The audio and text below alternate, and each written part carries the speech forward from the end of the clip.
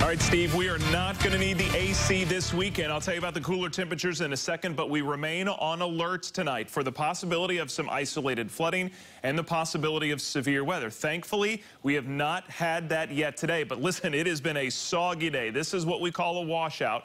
It's a wall of water from top to bottom. The showers and thunderstorms moving from southwest off to the northeast. Have a tough time finding some dry spots right now. There might be a little there in southern Granville County, but it's still probably sprinkling and misting, and there's more rain on the way. Here's what we've got in the bucket so far today. These are Doppler estimated rainfall totals.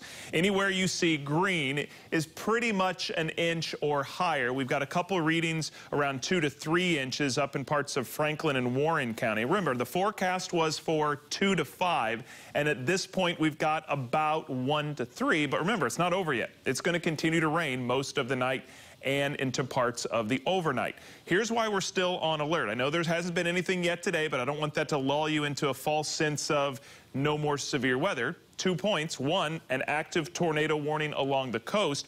And we've been watching this band of heavy rain, thunder, and lightning. It's already produced a couple of tornado warnings, some flash flood warnings. And if we watch it, look where it's kind of rotating to. It's moving very slowly off to the northeast. So that's going to clip part of our area. So the severe weather threat is there, and it works out.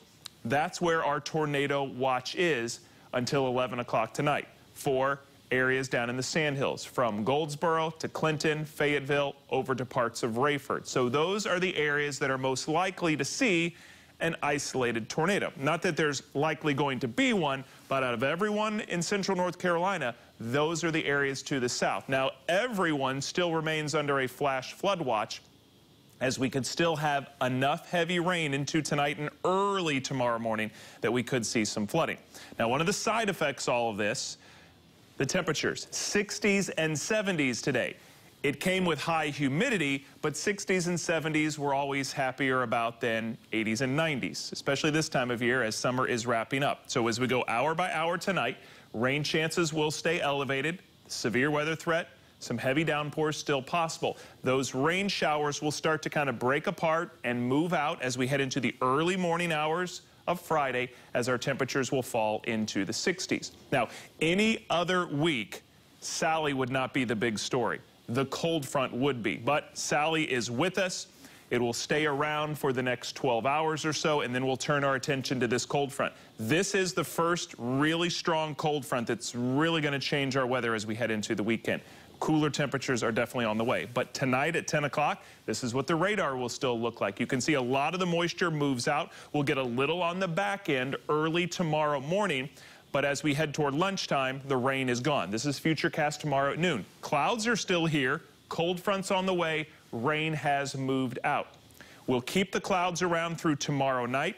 But tomorrow evening, the front starts to come through. You're not going to feel the impacts of the front tomorrow. It's still going to be warm and muggy. But as we get into Friday night and early Saturday, that's when you'll start to feel it. It'll be cooler. It's also going to be breezy. However, Saturday, here we are at lunchtime, the clouds are going to stick around. So it's not going to get cool and sunny yet. That will happen as we get into Sunday. So the next three days are going to be three totally different days, each of their own.